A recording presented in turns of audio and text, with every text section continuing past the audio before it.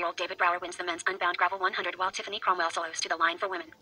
David Brower won the men's 100-mile race of the 2023 Garmin Unbound Gravel presented by Craft in a sprint. Brower sprinted to the line in downtown Emporia, Kansas, in a group of four riders, crossing the line first ahead of Elliot Phillips in second place and Brian McCulloch in third place. Scott Funston, 2021 US U23 cyclocross champ, was off the podium in fourth. It was absolute chaos at the start, 19-year-old Brower at the finish. I thought I was 30th out of there.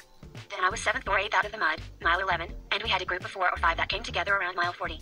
We chased Scott Funston all day. We caught him at like mile 75. I was in the worst pain of my life, but I rolled it through.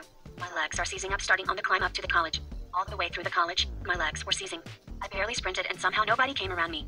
For me, this is just as hard as the 200 last year, said Phillips of Great Britain, who was 73rd overall in Unbound 200 last year. Two of us broke away after that incredible mud section. We were together. And then we got to the aid station. Funston was just on the gas and he dropped me. And I thought we're never gonna see him again. And then the guy in front cracked. We caught him and us four just worked it to the finish. And then we all sprinted out. I think everybody gave their all and I think that the order was the strongest riders, the strongest one won at the end of the day. Tiffany Cromwell crossed the line with a time of 6.13 and 54 seconds, a little more than 23 minutes behind Brower and placing 16th overall. Finishing 25 minutes behind her as the second placed woman and 33rd rider to finish was Maria During. Lauren Zoerner was third, and Kae Takeshita finished fourth. Yeah, I was going great until about mile 12, when we had that mud.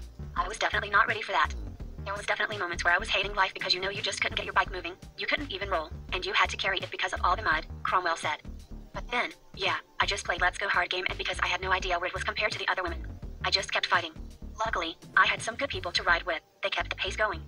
In the women's race, on the southernmost section of the route on a 9-mile drag of 340th Street, less than 40 miles to go, Cromwell separated from the rest of the women. Cromwell kept driving the pace and opened a solid advantage of more than 20 minutes in front of Takeshita, now in second place over Swigert and Spearing. Tiffany Cromwell soloed across the finish line with a 25-minute gap over second place is rider Maria During, and in third five minutes back was Lauren Zoerner, in fourth was Kae Takeshita. Thanks, legends, and I hope you are all well. Don't miss a moment from the sports that you follow. Help us to bring you the best content possible. Please share, like, and subscribe.